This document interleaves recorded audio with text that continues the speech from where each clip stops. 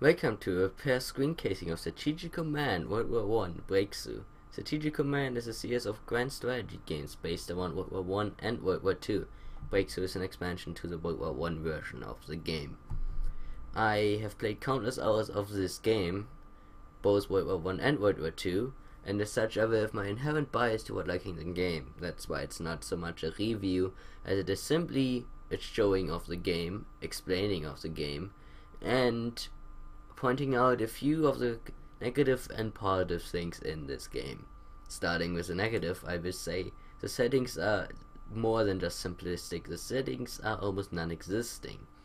You have normal resolution, you have full screen on and off, you have sound on and off and music on and off, but there's no sound sliders, no music sliders, there's no music in the whole game other than the main menu, as such music is pointless, and even the sounds are such generic sounds that you might as well turn them off this game does not have very much of any of that. It's really it. imagine playing it like a really good board game. A board game does not have sound, nor does it have music, unless it's a really weird one. The game, however, does have a very long campaign that will take you 30 to 40 hours, I would assume, to beat. I've never counted the time, but each turn takes 15 to 30 minutes, and there is a good 100 to 120 turns in a campaign unless you finish the campaign very quickly, but normally you can't. The main campaign goes from 1914 to 1918, which is the dates of the war in real life, but it will continue after 1918 if the war hasn't ended yet. Most times it will end around that time. It will end around the historic time. There is also a bunch of other scenarios, some of which are bigger, some of which are small. The brighter ones are the bigger campaigns, the less bright ones are the smaller campaigns. Most many of these are here because of the expansion set, but overall, even without the expansion, you can still play the main campaign and not much has changed. So you don't actually need the expansion unless you want to get that. It only adds a few minor rule changes, nothing that I will actually bring up in this video. You then have the choose side screen, where you will either choose to fight for the Central Powers or the Entente. In this game, unlike games like Hearts of Iron or many other games you would play, you don't actually play as a nation, you play as a whole alliance. You play either as the Germans, Austrian-Hungarians and Ottomans, or you play as the British, French, Italy, Russians and USA. This is why many of the turns take a long time as you are literally doing everything for every nation. But it also means that you don't have to rely on stupid AI allies and generally it gives you a bigger scale of actually being able to plan out a historical uh, plans, which is good because it, it, it gives you a wide array of options. You then have options for the different graphic styles for the units. I would keep this with the units unless you are very hyped for going for the historical uh, kind of art style that they use in military stuff you then uh, most of these you have a bunch of options but most of them I would just keep all of them on as they are useful last turn summary. Messages national colors fog of war. Generally I, I have never played this game without fog of war it seems weird but I'm pretty sure it's mostly for debugging. The only thing I would turn off is quick logic and undo moves if you really know what you're doing but I would keep undo moves as long as you're not playing in multiplayer. It is very abusable but unless you really want to abuse undo moves, there's not really a problem with that. You can change the type that borders that one. There's a few graphic things you can change, but nothing too important. You would mostly go to okay. You can also go in advanced and turn on all of these the way that I've turned it on. You don't need to, but it's some of these are important. Useful highlights. It, it shows you how far an airplane will be able to intercept on the board and that kind of stuff. And then press OK and then it goes into the loading screen from where it will then go into the game itself. The whole game is on one board and there is no loading screens in the game, besides unless of course you leave the game and load it later. As such, really, you don't have that many loading screens at all. It will then give you some basic strategic advice on for the campaign, but the game will not explain how to play the game, that's why I made this video. Besides reading the manuals, there's really no way to learn this game. That or just doing it by trial and error, which is mostly what I did. Um, like the game will tell you the more specifics for the campaign itself, which is nice. So it, you don't need to really have historical knowledge. Uh, well, any historical knowledge you will need, the game will mostly tell you about. There might be some basic stuff that you need to know, like people kill each other, but I'm pretty sure everyone knows that. This is the main map of the game, where most of the time will be spent. You can select units, move units, attack enemy units, do all kinds of stuff with your units pretty much. Each unit has its own set of stats based on its strength, which is its HP, its supply, which is the starting the amount of resources it, resources it has available to it, the action points, which is how far it can move, the strikes is how many times it can attack in a turn, readiness and morale are both used to calculate damage, and the ground cover is how well it is entrenched in the area it's standing. A higher ground cover counts as an extra defense stat, which if you right click on a unit, you have an array of options. Reinforcement is to repair a unit, elite reinforcements is to stock it over 100%, upgrade is to upgrade its BAMs, operate is to move it by train to anywhere else in your territory, transport is to put it on a transport ship, amphibious transport is to put it on a landing ship, the difference being transport ships only work in ports, allied ports, and amphibious ships work only um, that you can land anywhere with them. This Disband is to get rid of it, and you get some of the money back. You probably will never ever use that, but whatever. You can rename a unit if you really want to do. You can look at the properties, which is where I'm going next. Each unit has a soft attack, a soft defense, a tank attack, and a tank defense stat. Soft attack is used to attack other infantry units. Soft defense is used for calculations in defending against infantry units. Tank attack and tank defense does the same, but for tanks. Tanks are very rare in World War One and will not actually show up in the first two years. So tank attack and tank defense tends to be really low, but it's not that important for you. Air attack um, is how good they are at attacking airplanes bomber attack being the same airplanes but bombing airplanes. Air defense is how well they how good they are against defending against those targets. Most of these are go to like those numbers are not that important. Really only soft attack, soft defense is important. This will tell you how far it can see an enemy unit, which is two fields. Currently there's actually a unit in here but I cannot see it because two fields would be this and that. So I have no idea it's here.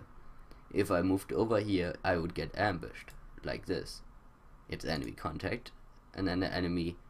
Normally it would ambush me, but because it's weaker than me, it can actually not ambush me.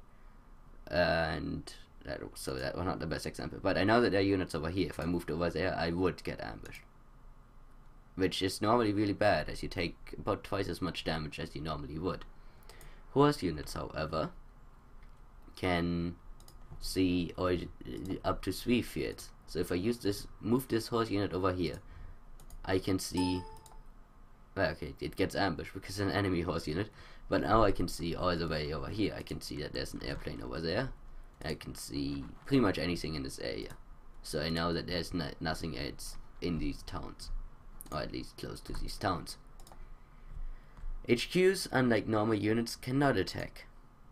It, they will only they give you troops supply and they also make your troops fight better. Normally, every troop unit should be tied to an HQ, which will show the green circle around it. Each HQ can support 5 units. Currently these are 5 units. So if I had another unit close to here, it would fight really bad, because it would not have an HQ assigned to it. This HQ is one of the worst HQs, by the way, but whatever. The rating of the HQ is pretty much... It shows how good the HQ is in quality. This is, as I mentioned, a really bad HQ. You cannot increase the rating of an HQ directly the only way to increase the rating of an HQ is by replacing the commander and then putting in like a new one in. For example, I could put that one in, and but it will cost money, which I do not currently have. Supply is based on both HQs and the um, territories around you. Each city or town will give of supply. A town, that, that is what the number here is, a town will give of 5 supply. A city gives of 10 supply. There are some specific cases where it will not. For example, if I walked over here and captured this city, it will now give only zero supply because it used to be an enemy and the supply will go up by one every turn till it reaches 8 by 10 why not 10 but 8 um, if it's an enemy occupied city, it will only go up as high as 8, it will not go as high as 10. So you have to keep that in mind. In enemy territory, you don't get as much supply as you get in your own home territories because of partisans and just generally it's not as efficient. HQs, however, can turn supply up. It, it, it won't supply up in a way. So if you have, if an HQ gets B supply, it will give all, it will create 8 supply out of that. If an HQ gets 6 supply, it will create 10 supply. Generally the numbers are 6 and up, it gives out 10 supply, as it currently does. 5 and lower, it gives out 8 supply. If it gets 0 supply, then it still gives off 5 supply on its own. But HQs will not um, bump each other up. So you cannot make a line of HQs and just keep the supply going like that. Uh, HQs need to take supply from towns or villages. As such, it is normally good to have an HQ close to the front line, but due to the fact that it cannot fight, as mentioned earlier, you don't want it at the front line. You don't want HQ to take damage. If it takes damage, it starts giving off less supply, and the rating of the HQ, it, the rating itself will not go down, but the boon it gives to all of your units will end up going down. So your units will start fighting considerably worse if your HQ is damaged. There is also the fact to consider that you cannot attack over rivers very efficiently, which you can see the numbers down here that will pop up when I go hover over it. That tells you how much you're going to lose, how much the enemy is going to lose, and why. Currently I would lose 3 HP points. My enemy would lose only 1 HP point, the reason is that I have an attack stat of 5. My enemy has a defense stat of 4 plus 1 because he has a ground cover of 1. And I have a negative negative 35% due to my river. Well, to, due to the river in a way. As such, it's not an efficient attack. You can get around that by reducing the ground cover. The ground cover will go down by 1 for each corpse that attacks the enemy. So if I had, had actually attacked then he would have a ground cover of 0 now. That ground cover will increase by 1 every turn, so unless unless you manage to destroy the enemy unit, just attacking to decrease ground cover tends to be inefficient. The other thing you can do is use heavy artillery, which will also decrease the ground cover. For example, if I shot at this unit, it would play the animation, and then the ground cover is now 0 out of 1. It would now be more efficient to attack him. Still not, still not very efficient, because he's sitting in a forest, which gives him, I believe it that gives him a boon. Obviously, I should probably know this, but I'm gonna go check out. You can right click on the unit. If I stopped right clicking too damn many times, there we go. You can and then you can see forest. It gives the defense for one point. So generally, he's in a pretty good position in that forest because he has the forest and the river. Like, he, this is not a unit I can attack efficiently at all. That is why the Germans in real life, and as I'm going to do now, declared war on Belgium, for which you click on the maps up here, which is square field thingy, and then you click war maps. This shows you all the nations in Europe. All the nations you're at war with have their tank sign. All the nations you're not at war with have their respective flag. The flag of Belgium being this one. I want war with Belgium, so I click on declare war after clicking on the on the flag. Then it loads because there's a number of trigger triggers associated to declaring war on Belgium, most of which being that England now also joined the war. Now I'm at war with Belgium and at war with England. But now that I'm at war with Belgium, I'm allowed to walk through his territory, which is extremely useful for getting around the entrenched French. As such, I'm gonna move past him through Belgium and then down the coast. Obviously the Belgian people also have troops, which I now have to destroy because they are now my opponent. I could attack him directly. You can see the tank sign, which means that I get in 30% extra because I'm adjacent to his unit at the start of my turn, which is considered a charge boon. But I will lose 35% because of the fact that I'm attacking over a river. So it would still be more efficient to move here and then attack rather than to attack and move. Keep also in mind that he's using a detachment which only has a stat of 1. That's why I would be fighting that efficient. Detachments are not very good at fighting, but they are good at keeping areas occupied. And in some in some cases they are good enough at keeping the enemy away. So now that I have attacked him, he has no ground cover either, so I can more easily destroy him. Once a unit reaches 0 HP, it is destroyed and has to be rebuilt completely, which takes a number of months. So it's normally best to not let your units die. Now that it's dead, I can also move through it. So as you can see, you can move and attack, or you can attack and move, but you cannot attack, you cannot move and then attack. What? You cannot move, attack, and move. You have to. You only have two actions every time you move. You have a turn. So you do this with all of your units, trying to gain as much territory as quickly while not taking too many losses. You will probably not actually reach your goal, which would be Paris, because they never reached Paris in real life, but you will probably get around over here, this area. The main goal being to take this mine, if possible take Amiens, because there's this river, which will otherwise be difficult to overcome. You could also obviously attack Verdun and try to push through the front. There's a number of strategies you could apply. Which one is the best is always debated. Antwerp is a castle, much like here is a castle or well, a fortress. These will be very difficult to destroy, even though this unit isn't really bad. It currently has zero supply because it just joined the war and has not much readiness. I even then I only fight 0 2 doing 2 damage and taking 0 because he has an entrenchment of 5 normally you need a gun to take down that, which is why I placed my heavy artillery gun over here, which will then detect Verdun and take Verdun, hopefully. That is uh, not that commonly used plan, but it's one of my starting strategies that I tend to like. If you move, move all of your units, then you will end your turn after having moved everything. I will obviously not move all of these because that would take too long. And that's what I mentioned earlier, this game takes quite a long time to play, but it is a lot of fun, most of all, once you start having done 5 or 10 turns, it, it becomes a bit unique every time you play it. The base setup is obviously always the same, but some things work out better, some things work out less well, and there's a lot of having to adapt to events as they happen. The other thing that you can do is have your units entrench rather than move. If you entrench your unit, you can decide where it will entrench to and the number of sides being up to two sides.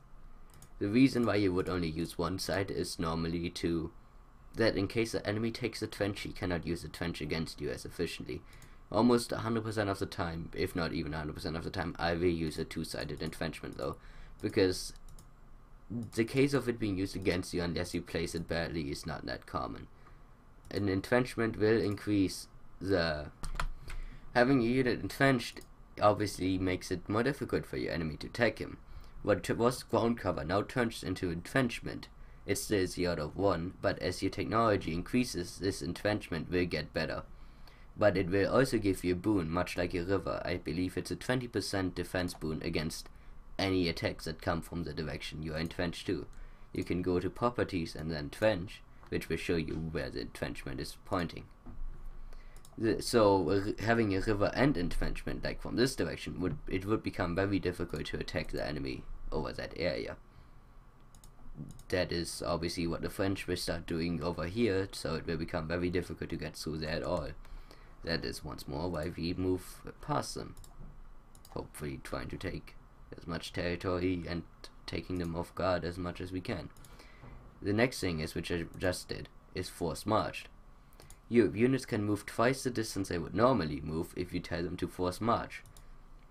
Force marching will, however, destroy the readiness and morale of your troop, which means it, the unit doesn't take any VA damage and it doesn't cost you anything. But if your unit gets attacked or fights in the coming turns, it will not fight very efficiently. Force march is, however, still useful for taking more territories than your enemy expected. You can also only force march in in allied territory, in territories that you own. So you have to have one unit take the territory and then the next unit move to it. You cannot force march into towns, for example, that the enemy owns. So you have to force march around them, which I'm do currently doing. The other problem with force march is that you move very far, but your HQs cannot force, force march. HQs will end up being left behind, which means that the units at the front will become very vulnerable to counter attacks, so it's uh, you have to very it's a balancing act. Supply, as mentioned earlier, will decrease by one field for each field it travels. Currently this will give out 10 supply. It will then move over here for 9 and then 8. It will move by roads because that's where it's most efficient. So 9 and 8 and 7 and 6 and 5. So the, by the time it reaches this unit, it will only be 4 supply. Which means this unit is will not be in a good fighting condition at all next turn. It will only be able to move around by 3 movement points and take maybe the city, but it will not do much besides that.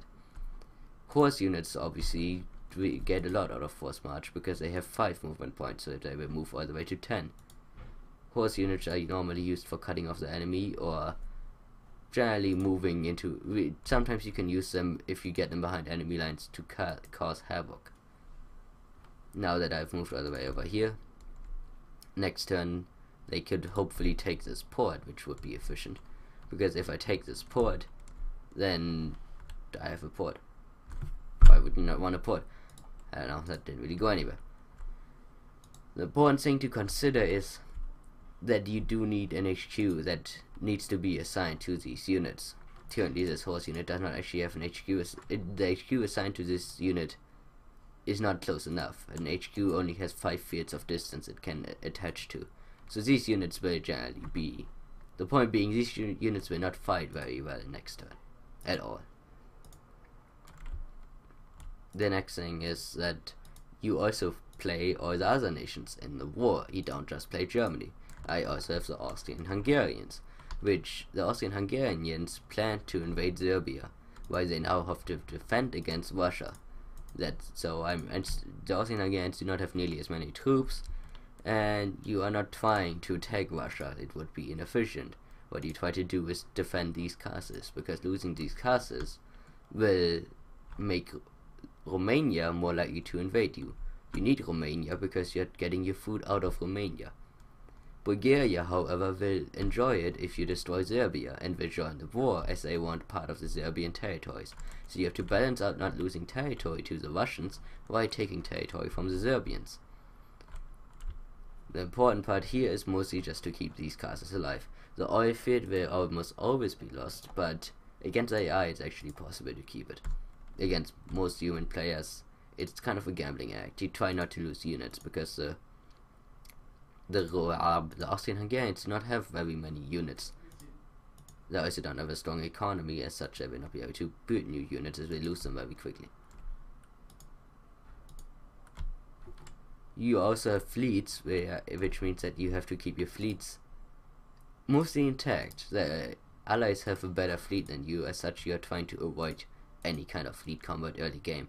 For Germany, this is not a problem as they have, as they were very smart and built this channel through Denmark, or by the southern half of Denmark. This channel lets you go through it. The enemies cannot go through it. As such, if the German fleet is ever in danger, all it has to do is go on the other side, and the English cannot attack you unless the Eng English get Denmark. But the English would not never invade Denmark, so the German fleet is safe. The Austrian Hungarians do not have that lifestyle of easiness. I don't even know what I'm saying. The German, the, the uh, Austrian Hungarians do not have that. As such, keeping the fleet alive mostly consists out of staying in your ports and avoiding conflict. You could invest your economy points into building the fleet up, but then you do not have as much money to invest it in troops. Money in this game is counted in MPP, also known as military production points. Military production points are created every turn by the territories that, that you own. Towns create no military production points. Cities create one military production point for each supply it creates. Mines create three for each supply, and capitals create two for each supply. Oil fields will also end up creating military production points, which at the rate of 2 per 1 supply. So generally taking cities, mines and capitals or oil fields is important for the long term of the war, while small towns will affect more so the national morale. The national morale is important as it keeps your people in the nation happy. It's uh, if your national morale starts going down too low, people will end up starting to strike or will even try to overthrow the government. and if it reaches zero, you pretty much lose the war. As such, you need to keep your people happy by taking territories. Every turn, a territory will, will change national morale. So if I owned this town, I would drain 12 national morale from my enemy, Russia, and give Germany 12 national morale. Which is another reason, it's another incentive for the Germans to invade France. Small minor um, nations do not have national morale, such as Belgium, and their territories do not give national morale. As such, invading Serbia for the Austrian-Hungarians will not actually make the Austrian-Hungarians happier. But obviously, it's still more efficient as fighting the Serbians for over a long period of time will also make them not as happy. For each damage done to your units in wars and military production points, you'd lose the national morale. So if a unit is, if every to one tenth of a unit is worth 12 military production points, then you will lose 12 national morale points for each damage it takes. As started the 5 damage and I just took there probably drained a good 50 national morale points. Germany starts with 45,000 national morale points. Each nation starts with different based on just generally their will to fight war. Germany having the second highest after the UK and the USA, but the USA joined so late in the war that it will almost never. Uh, the USA will never leave the war by national morale. You never take the USA, and the USA is never really defeated. And they are not. You do not need to defeat the USA to win the game as the Germans. All you have to do is defeat Russia and France. You could technically also defeat England and Russia, or France and England, but either of the two will win the game. But England is pretty much impossible to defeat as they have a lot of national morale. Italy does not, it's actually not important to win the game, but Italy has a low national morale as such, they will be defeated pretty quickly, and it's it, there is a strategy to defeat them because it will make the enemy weaker. Besides that, you can purchase units with the military production points. Units are cheaper to purchase if they died in combat once without being cut off. If they are in low supply, aka 5 supply or less, when they die, you have to pay the full price. Otherwise, you pay half price. As such, sometimes it's better to lose a unit and then buy, buy it, but it will take multiple months. As such, you have to calculate in that risk. Every unit, every nation buys for itself, and there's a few units that you cannot buy earlier in the game. We already showed the war map, and then there is the war map that I showed. Yes, and then there's a convoy map this will show you all the convoy lines, which can be relevant, but you cannot do. You can attack the convoys with submarines, but most of them, the information is minor. As it will not tell you how much money it actually makes, but it will show you who is important to keep allied. As such, Sweden and Norway are important for the Germans, as they actually do give you money every turn. They give you MPP. Greece has a trade line with the Egypt. I mean, with Egypt, but then the trade line is with the UK because the UK owned Egypt. So it's important technically for the Germans to take Greece if they ever get that far. Besides that, you have the research screen, which will also use military production points. As such, you have to keep a balance between using military production points for your troops, to buy more troops or restock your troops, and between research and diplomacy. Diplomacy is very money inefficient and should almost never be used. It, it, you tend to invest a lot more money than you actually get out of it. It's better to invest it in research, but sometimes there are specific cases where diplomacy will be important. For such a, case being Holland. Holland is very important for the Germans as most of their trade will go through Holland. If the, if Holland becomes more aligned to the Entente rather than to the Germans, Germany will pretty quickly start falling apart. As such, losing them will mostly lose you the game. That is where diplomacy comes in a lot. Sometimes it also matters for smaller nations such as Sweden or Switzerland. Every nation has an alignment rating. Sweden having 20% toward the Central Powers, if you see in the top right of the screen. Norway has 0% toward the Central Powers. If Norway went any distance toward the Entente, they would stop trading with me and then at that point I would stop losing the money income from that. As such, there can be importance there, but it's only important if your enemy invests in diplomacy. So both sides, both sides most of the time do not invest in diplomacy at all. research is very important, and early game the most important thing is trying to take, trying to do losses to the enemy, but also trying to keep your nation, you to keep your national losses as, at such a minimum that you don't actually need to invest money in restocking them because you much rather want to invest money into the research. The war will never end in 1914, and as such, a long-term investment is a lot more efficient than a short-term investment. The most important research topics are infantry warfare, industrial technology, production technology, trench warfare, intelligence, and heavy artillery. At least that is by my opinion.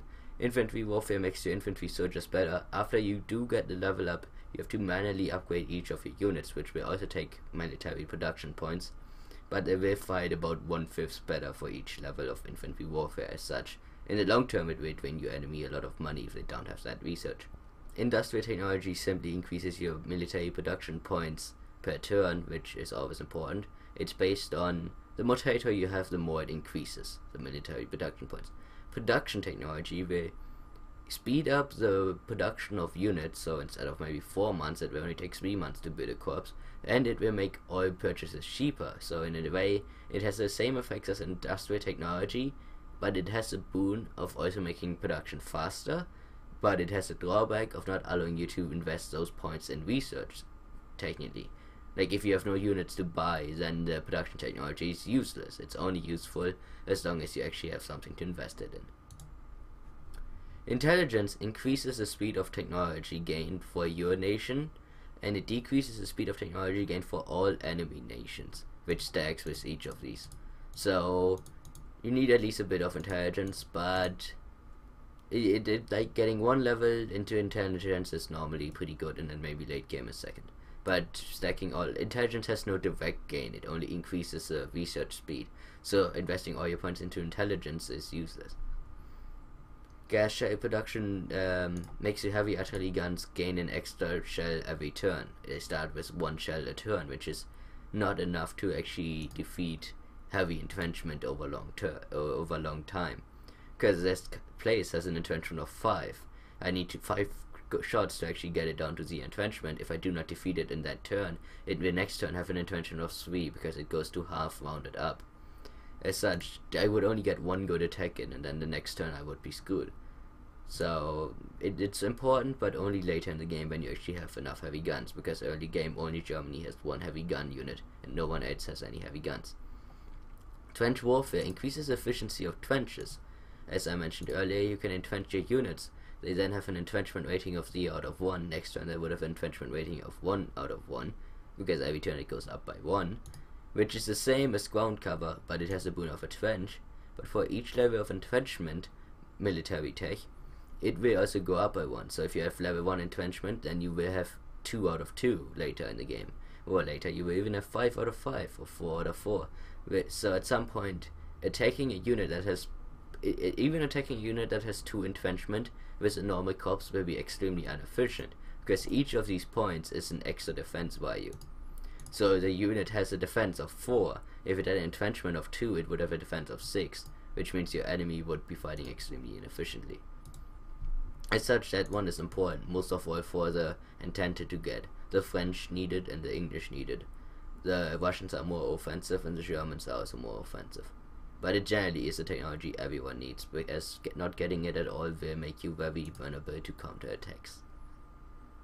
There's naval warfare, which is actually useless technology in the sense that every single nation in the game has it. But it um it, it makes the ships better. I, I think it's only there because there are some ships which are considered better ships, and then there are dreadnoughts. Dreadnoughts are pretty much World War One era battleships, and then the other one, the normal battleships, these are just ships that were built in the late 1800s rather than in the early 1900s as such they are not as good in quality. There's a huge difference between the two. It might like it only says that one there, but that one means a lot. A normal ship has a rating of four four four. A leveled up ship has a seven seven seven, so it's almost twice as powerful. Ships are extremely expensive in this game. I believe I mentioned that already. So even up, even leveling up a normal ship to the 777 will cost you a good 100 to 200 production points. a corpse being 200 production points ish. So you can get a whole corpse of people pretty much for a level up of a ship. Building a new battleship from ground up is extremely expensive actually, as such you don't normally want to lose your battleships. Building a leveled up battleship will cost you a good 600 points, which Germany makes a good 300 to 400 points a turn, so you normally don't have that much money left over. You then have the graphs, which are important to keep you updated with pretty much how you're doing and how everything is doing. It will show you how many troops each nation has in land, air, naval. It will also show you general of all the troops combined, so it kind of shows you the balance of the war. Important is it normally to stick to 50-50. The Germans start, this is Germans, Austrian-Hungarians, Ottomans, Russia, Italy, France, England. The Germans start weaker than the other, but the German troops are better.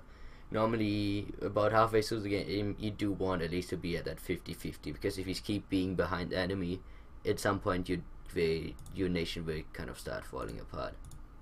It, it That is mostly the thing that you need to keep an eye on to see how well you are doing. Besides that, this shows you how much territory a nation has. These are the cities which actually produce money.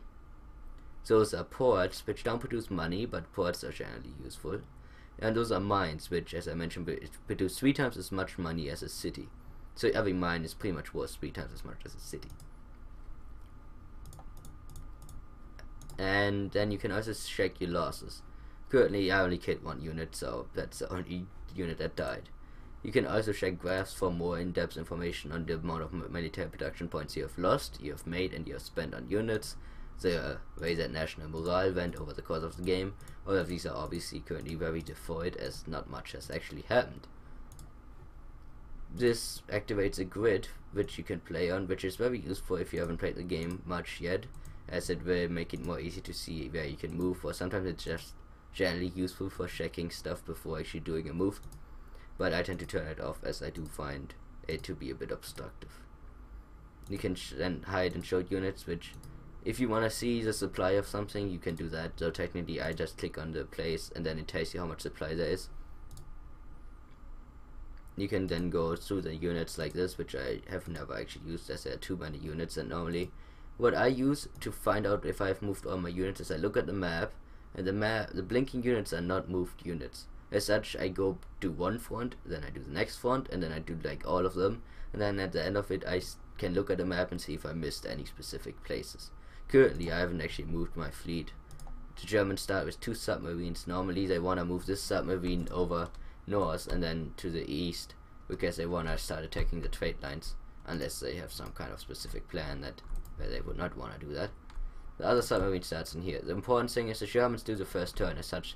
That submarine can always move up north without any danger because you know for a fact that, that the British do not have a fleet there as the British fleet starts mostly over here and mostly over here. You do not want to move the German fleet anywhere close to the channel early game as the British fleet is a lot more powerful. The British will end up having to split their fleet to send in half of it or at least to send some of it into this ocean because they are not strong enough over here to defeat the Austrian-Hungarians yet, the Austrian-Hungarian fleet. So the British have to play a balancing act between keeping their fleet over here and keeping the fleet in here. You don't for the Germans and Austrian-Hungarians. It's important not to lose either of the fleets because otherwise, the Germans don't have to. Um, otherwise, the British don't have to play that balancing act anymore. Besides that, there's a manual button, and then there's options, which I've shown earlier. These are the same options. You can always check your victory conditions, which are pretty simplistic, and that is the basis of the game. The other thing to keep in mind really is just supply is affected by one more thing that I had not brought up. Supply, I mentioned that the supply city will have 10 and it starts with 0 if you take it and then it goes up by 1 every turn. But important is also railway connections. A city, a place cannot go up beyond 5 supply if it is not connected by railway to your capital or an industrial center. I don't know if this game actually counts in... Yeah, okay, here's an industrial center. This one does not have a railway, but it will stay at 10 because it's an industrial center. This will also stay at 10 because it's an industrial center. But for example, this city, if uh, if the British landed and cut it off by taking this. Well, okay, they don't need this. But if they landed and cut it off by taking this field where I moved my unit now, then they would this city would be cut off. It would drop to five supply, including the port. As such, it is important to keep your railways connected. For the British, for example, it'd be very important to take this or this place, as it will cut everything south of it off and make any offensive offensives really difficult. This is also important for castles, as some castles, uh, most of our early game, are extremely difficult to capture. If you can, however, cut off the castle, it will start dropping really low supply, and the units inside it will start losing morale and readiness. And as we have shown up here, it makes a huge difference if a unit makes a huge difference if a unit has high morale or readiness. So that is mostly the basis of the whole game. The other thing you can do is you can use operate, which makes uh, lets you move a unit from one place in your territory to another place in your territory, as long as there is a railway connection and the place has five supply or higher. It costs money to do that. But it, that can be useful most of all for the Germans early game if they want to move some of the troops east to the west because the Russians tend to invade you early game. National morale objectives are special cities which will losing them will have an impact on your national morale. Sometimes they will also have an impact on the opponent's national morale. For example, if the Russians lose Leningrad, okay, it's not Leningrad yet, it's Petrograd. If they lose Petrograd, then they lose national morale. Petrograd is also the capital in World War One, and the Germans will gain national morale. In real life, they never took Petrograd because uh, they didn't actually invade Russia very far. But it's important to keep that in mind. Same with Paris. If the Germans take Paris, the Germans celebrate the taking of Paris. If the French take Strasbourg or Metz, then they celebrate uh, celebrate the capture of those places. It's sometimes a bit wonky, as I do not like the Germans don't all celebrate the capturing of Verdun or Belfort, so it tends to be it, it tends to be based on the historical events, but sometimes it's questionable if it would have been the same in a different situation. Like if the French had taken this city early in the war, then maybe they wouldn't have cared. But historically, they took it very late in the war, and at that point, it affected them more. Besides that, I might actually be wrong. They might have never taken it. I don't know. um, besides that, to keep in mind is really everything else will be explained by events. As I mentioned, the game is very good at explaining what you are supposed to do in this scenario. It just does not explain the base game outside of the manual. But the manual is actually very well written, and I've read it at least twice already, and I probably still got some things wrong. So if you do like reading manuals, I would read that. Even it has a lot of fun flavor text and all that kind of stuff. Overall, the whole game has a lot of fun flavor text, which is one of the main reasons why I like it. I'm actually going to end a turn just to show how ending a turn looks. Once I end a turn, now I get a decision event Admiral von Ingol, our Middlemeer Division, whose flagship is the Goeben battlecruiser, is currently sailing in the Mediterranean towards Constantinople. It is recommended that the Goeben continues on to Constantinople, where it will be taken into service with the Ottoman Navy and be named the Yatsu Sultan Selmi. And I cannot pronounce those names, no. Doing this will not only provide the Ottoman Navy with an urgently needed reinforcement, but it will also help to mobilize opinion of the Ottoman Empire toward joining the war on our side. If you decide not to send the Goeben onto Constantinople, then she will instead sail to Pola in the Adriatic, where she will serve alongside the Austrian-Hungarian Navy. Would you like the Goeben to sail to Constantinople to serve as the Ottoman Navy? Yes. Or would you rather not sail? Or would you rather she sail to Pola to serve alongside the Austrian-Hungarians? Saying to keep in mind is with most of these events, saying yes is better. Most of them are based on the historical actions, and at least for the Germans, many of the historical actions they took were generally smart. As sending the Goeben to the Ottomans is a lot more efficient than sending them to the Austrian-Hungarians. However, it is viable to send it to the Austrian-Hungarians if you have a game plan. If you have a plan, for example, to take the oceans, and you are really focused on defeating the British in the North Sea and in the Middle Sea, then sending it to Go sending the Goeben to the Austrians might be good, as it might catch the enemy off guard. They will try to invade the. They will try to destroy the Austrian-Hungarian fleet, and you have more ships than they anticipated. But generally, you want to send it to the Ottomans, as the Ottomans will be rather happy about that, and uh, it's also a lot safer in the Ottoman navy. And then this guy, I'm not gonna read all of them, but this guy has one where the Austrian-Hungarians had planned to invade Serbia, and they asked you if they want to deploy the troops against Serbia or if you want to deploy them against Russia. It will take them a week or whatever. And normally in game it's about a turn, maybe two turns, I think one turn, for them to deploy them against Russia. It's good to deploy them against Russia technically, as invading Serbia is rather inefficient, but you can do it. So it's really up to you in that case. But the yes event is deploying them in Serbia. The main problem is with deploying them against Russia is if you play a good opponent, there is actually you can technically invade Austria-Hungary really fast, and if you get lucky, you can cut those units off before they ever deploy, and then they will not deploy. You do not get the units back if they can't spawn. They will deploy if you take the territory back, but if you never do, then they are dead units, which is very efficient. It will then show you the mobilization events, which will spawn more units, which the main problem is the game does not tell you where those troops are going to mobilize. As such, it's a bit of a trial and error. You have to know beforehand in what towns troops are going to mobilize. For example, Hindenburg, which was very important for the Germans, will mobilize in East Prussia in a specific town. Having a unit in that town will not stop him from mobilizing, but it will kind of screw over his, his starting location. He will then spawn somewhere around it. And you have a useless unit standing in the town. So yeah, those are really the only problems. There's a few things that you need to know. You just need to learn by having played the game at least once. A number of events that you don't know would happen beforehand unless you are really well read up on the history of the war. And then you see your opponent do stuff. He pretty much does what you do. Obviously, I played extremely terrible because I wasn't actually playing the game. Normally, you would not play this way. And as I said, the AI is pretty decent at what it actually does. It it runs two problems. It either is sometimes too passive, and sometimes too aggressive. Sometimes it will just send its troops into like into one of your entrenchments and just murder itself. And sometimes it decides to give up territory it would not actually need to give up. The Russians, for example, are playing very, very, very passive. Whether or not that is actually bad, I can't say right now, but I just expected them to do a bit more damage to my troops.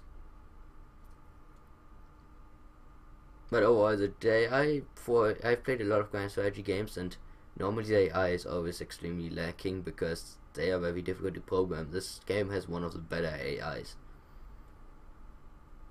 The base game has a campaign where um, Italy joins the Germans and the Austrian-Hungarians, which I'm just bringing up because that is one of the most fun campaigns to play if you are very good at the game and have played against AI multiple times. Because it kind of it, it, it doesn't make the AI I mean, it kind of cheats in the sense that it's a very gimped scenario against the Entente, but it's it doesn't cheat outright. Like it, it's still a fair game. It's just a very powerful opponent that you're fighting. But yeah, for example, there it's I don't know if it's really viable. He's just throwing his troops at it, being very insistent on trying to defeat that unit and then losing a lot more than it has to. But mainly, even for a human player, I have that happen many times to myself because sometimes you don't you never know exactly what to expect. You don't know what your enemy has because of the fog of war. You have to be very cautious about what you do. Because there's there's many ways that you can play this game and there's no one perfect way.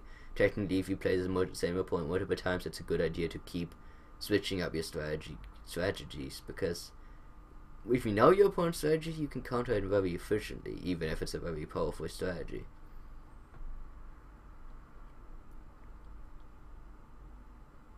AI does take a bit of time, but normally, if you're really into the game, it's not a problem, as you do tend to see a lot of stuff um, and you kind of do want to see those things happen. You could technically make it not show those, but you do want to keep an eye on everything.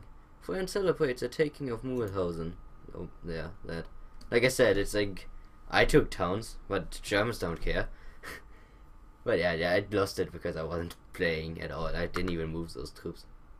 The British Expeditionary Force deploys in France. I love those pictures because those are like brilliant pictures. I just generally I love a lot of the flavor text in those games. Flavor events, I guess, more than text. French Policías Marines mobilized to defend the north coast.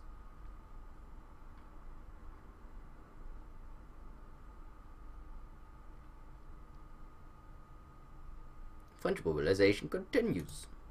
I don't even know why I'm saying it like that. But hey, they're French.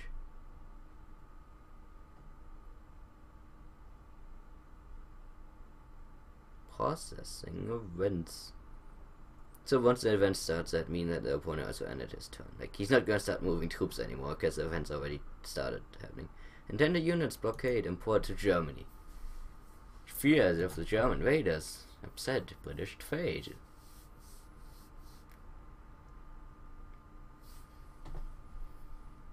But yeah, if you do like the uh, most of all, if you like what if scenarios, this is a very good game. Once if you can get into it, because you can do a lot of what if scenarios. I have done multiple things. I've tried to invade Switzerland before. I've tried to invade Denmark, Norway, and Sweden.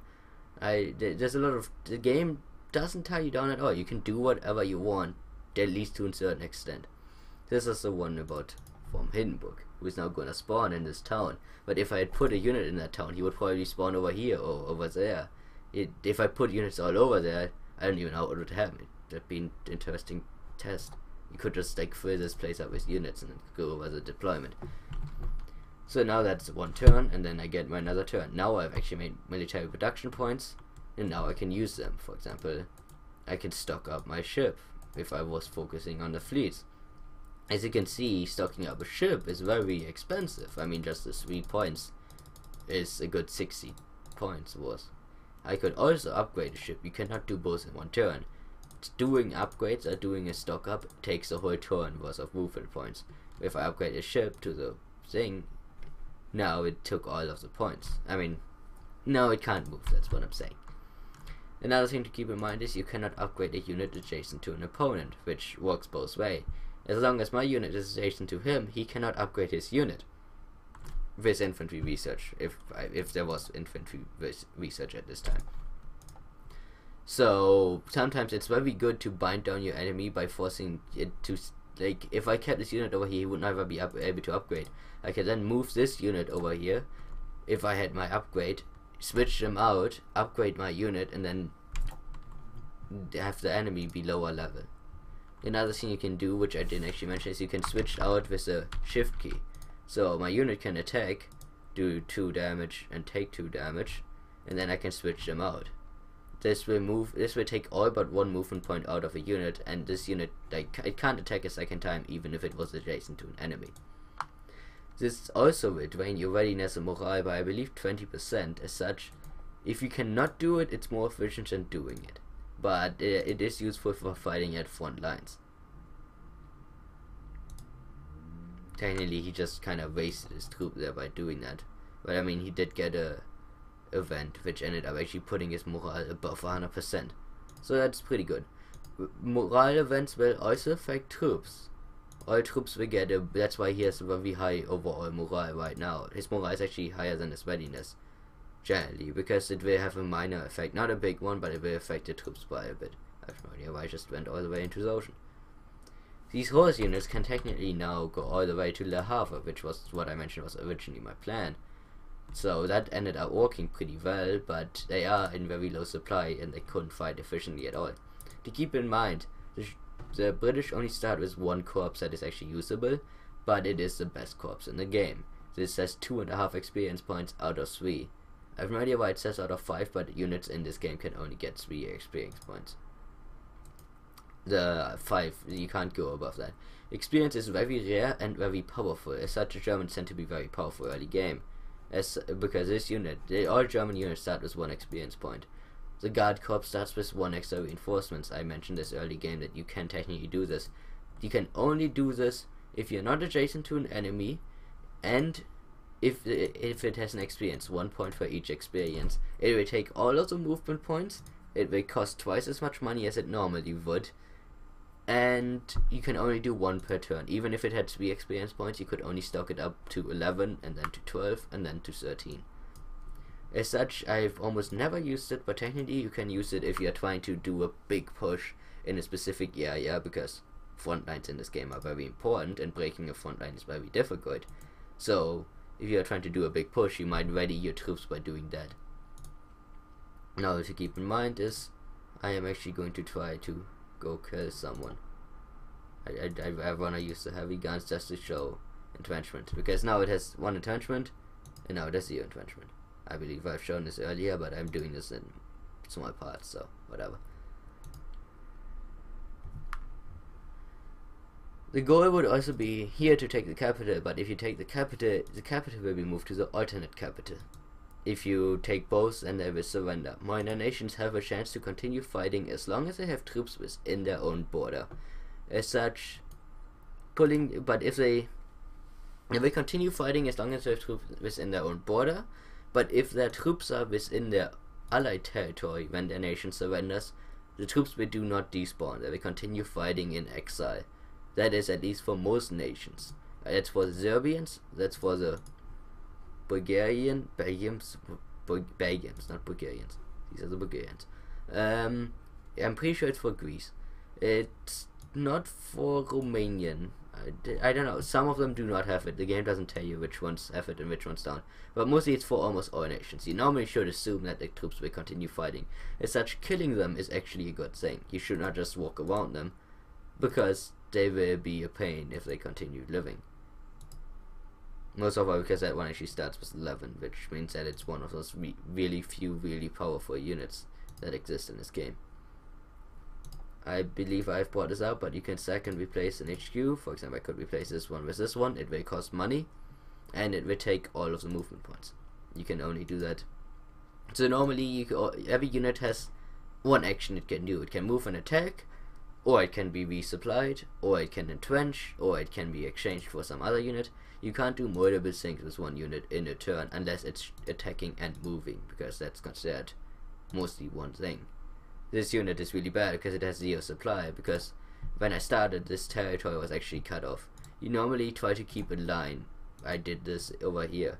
If you keep them in a line like this, the supply will move through the fields. It's more efficient if you go over the roads, because if you don't go over the roads, it will start losing a lot, a lot of supply. But so important is keeping lines and not getting cut off. For example, if the French had kicked this unit out, like this, and then had taken this place and this place and this place, all of these would be cut off and pretty much dead. In two turns, they would be useless, and you could just wipe them. So it's very important to push, but at the same time to make sure that your defenses also stay intact. I believe that is pretty much Strategic Command, the Great War. Well, it's it name breakthrough, but the base game is called the Great War. I will link to the demo, and I will link to the expansion. I will link to the, all the stuff on the on their website. And if you enjoyed this, then give me a thumbs up, give me a comment, say that you enjoyed it, do whatever. And I'm considering if someone is actually interested in seeing a full game of this against AI, then you could also post that, and I'm I, I would consider doing something. I would probably do something unorthodox, like invading Denmark, Norway, and Sweden, because I still want to pull that off. I've tried it, but I've never succeeded at doing it. Invading Switzerland, I did, and I won that game, but in Switzerland, let's just say they were smart in not invading Switzerland, because mountains are a pain to fight in, and you don't want to do that. Oh, also, the USA does not enjoy you invading Switzerland. So yeah, thanks for watching, and we'll see you guys next time. I don't know who's we, but I'm used to doing stuff screaming. I will see you guys next time.